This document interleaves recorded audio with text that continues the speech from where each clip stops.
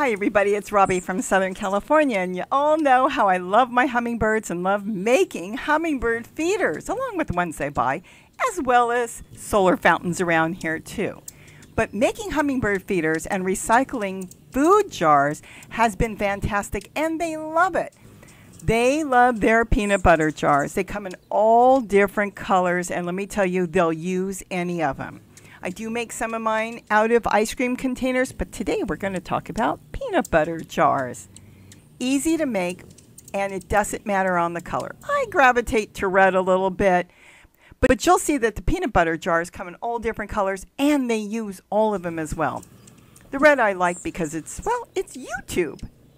So it's the easiest thing to make and fun to sit out on a deck, a patio, your tables outside, or anywhere. There's other ways of putting them out. We'll get into that later. As far as making them, you take the cap from a clean jar and you make holes all the way around. Now, I start by making two holes in the center. That's going to be my handle. We'll get back to that in a second. Now go all the way around the edge because remember, they're going to be sitting on the edge and feeding. So you want to be able to put it around. Now they'll see the holes, so don't worry about it. They have very good eyesight.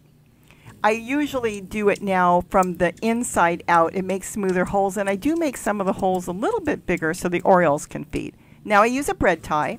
Just put it through the two center holes, and I twist it. That's just your handle. It's easier to clean the container. Pull the lid off the bottom of the plastic jar. So you'll see as we go along why I like that. Now as far as cutting it, it's about two inches from the bottom. Don't go any higher than that.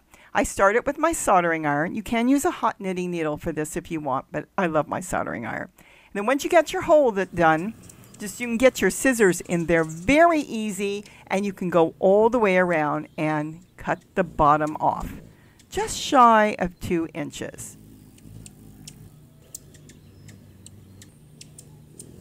Now once you have it cut off, if you feel it's sharp, I do this with a lot of my different projects. I take my soldering iron, and I run it along the edge of the plastic, and that will make it so it's not sharp and it's nice and smooth. You can do that with any of your projects with plastic. And that's it. Now your cap will fit in there and you'll just fill it with nectar.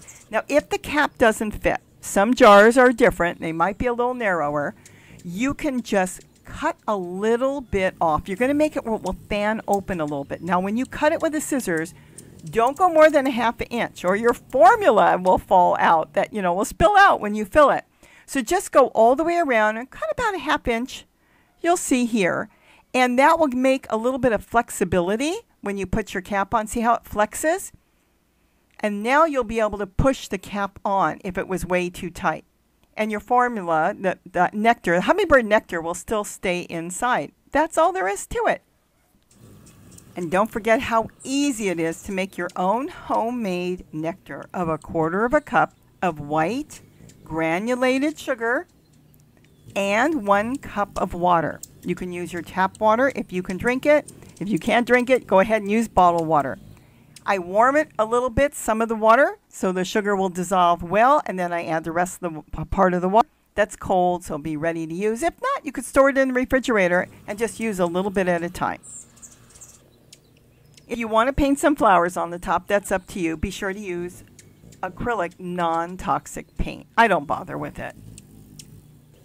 Now all you have to do is find a place outside. But here you'll see this is how I make them. Just shy of two inches. You can sit them anywhere you want. And if you want, you can put them on things. I love putting them in beautiful tall coffee cups. I put something inside so it won't fall inside. Give it lift and there you go. And you put it outside and the hummingbirds will come. As far as spilling it, it's so easy to clean. And once they're clean, you just spill them. And then you just put the cap on. That's all there is to it. Now, if you want, you can hang them. You can make a little tie for them and just hang them up, and that works great. See, when you make the hole a little bigger, your Orioles will come in too because they love nectar. And we have lots of Orioles nesting around here every year, and they have tons of babies all over the place. It's so fun to watch them. But you sit these peanut butter cups on any little pedestal or anything you've got, and they're and they're just so much fun and so easy to use and the hummingbirds love coming into the hanging ones you can also put a tray underneath of water anything you've got maybe a lid from another food container fill it with water and that will stop the ants that's all there is to it they will come they will use it they absolutely love it it's the easiest thing i think you're going to find you make when it comes to hummingbirds and some of them will hover like they do when they're feeding on flowers, and some of them will just sit down and have a drink. So I hope I've given you some ideas on what to do with those food containers that you've got. That you can make hummingbird feeders, invite in the orioles, and you can set them anywhere you want.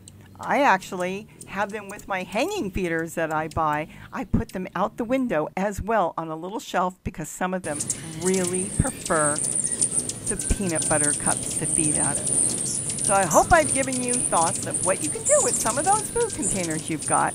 Have fun, enjoy the hummingbirds, and remember, it takes a little time till they find it, but boy, once they find it, you'll have them all over. With that, have a wonderful, wonderful day. And don't forget to eat what you grow. Bye bye, everybody.